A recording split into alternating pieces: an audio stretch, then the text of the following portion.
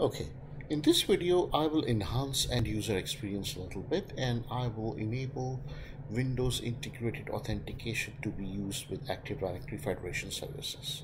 So whenever I will use Microsoft Edge or Internet Explorer, it will use Windows integrated authentication uh, with ADF for, for ADFS and I don't have to provide my password. There will be no login box like previous video where I tried to use Microsoft Edge and it gave me a dialog box where I have to, or login dialog box where I have to type my username and is password. So the first thing first, I log into this Windows 10 machine and let's use a UPN. It doesn't have to be, but so itcents.net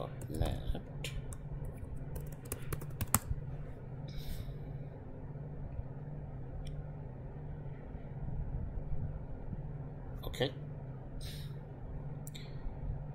So to configure Microsoft Edge for uh, uh, to use to configure Microsoft Edge to use uh, Windows integrated authentication for ADFS uh, you can do that through group policy or change settings on machine itself as I have just one testing machine I have done it locally and it's very simple. All you have to do just make sure that your ADFS service URL is added in local intranet sites. So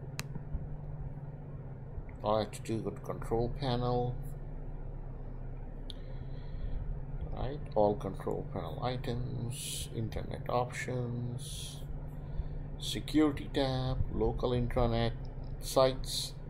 Before that just see I haven't changed the security levels. It's all set to default. I don't have to change anything for security levels. So local intranet sites I unchecked this box and under advanced I added my ADFS service URL which is https fs.itcents.net that's it once ADFS site will be treated as a local intranet site, Windows authent integrated authentication can work, right? Because you can use or we can use Windows integrated authentication for our local intranet. So let's open Microsoft Edge. Please bear with me, internet is a bit slow. I'm on my Wi-Fi. Uh, so you may get some timeouts or something but it's not related to configuration or anything it's just my internet is playing very bad today. Okay. Login page it detect that I logged into this machine as AD user one and itcents.net yes sign in. Now watch this please. Watch the URL carefully. It changes to login.microsoftonline.com and then change to my ADFS which is fs.itcents.net and then it's change it back to Microsoft login. And then to office.com and if everything goes well I should be able to log into Office 365 which looks like I have already but the net is a bit slower site. But anyway we'll give give it time and see Come on.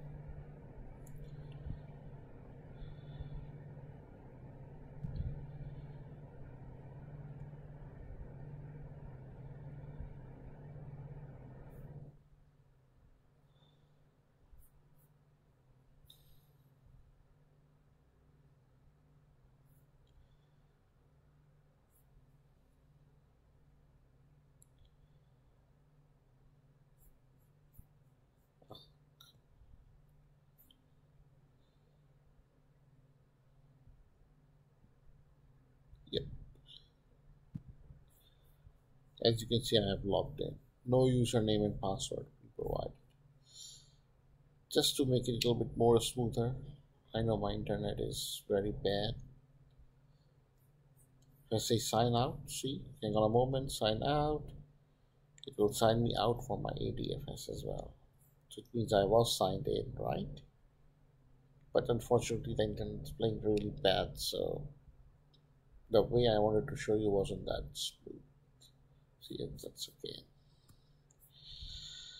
Alright so let's close this.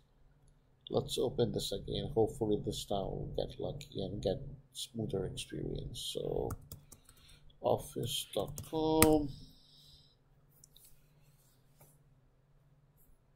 yes sign in as ad user one. Watch the url from office to login.microsoft online that should change to adfs url and then change it back to office logged in and R2 and that's it see it did not prompt me for username and password because of integrated Windows authentication. And as you can see here, I'm logged in as AD user 1 at itcents.net. Perfect. Right? So integrated authentication works with Microsoft Edge. For Google Chrome, it will not work because Google Chrome, maybe there is a way to do that, but, but I I'm not aware of it. I haven't dig into it.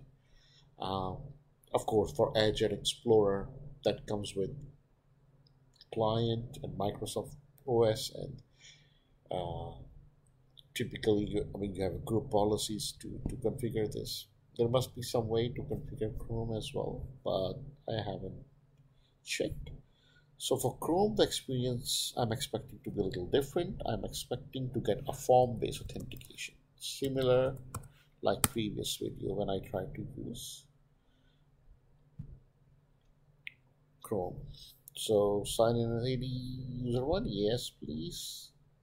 Sign me in, and yes, it give me ADFS form-based authentication where I have to type my password it was unable to detect my password, right? Because it was simply unable to use Windows integrated authentication.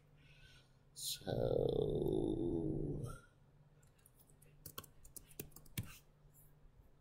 once I sign in, then it should write a token, authenticate against me, authenticate me against AD, generates a token, validate it, and yeah, set it to uh, Office 365. So I would say in, that's fine. And we go. Same machine, two different browsers, and two different experience the way users sign in. So this is why I wanted to sh show you that with slight change by adding your ADFS service URL to local intranet. You can use Windows integrated authentication for your ADFS with Office 365. So it will be very seamless and users don't have to type their credentials or anything. All right. Thank you once again. Please don't forget to subscribe and thumbs up. Take it easy.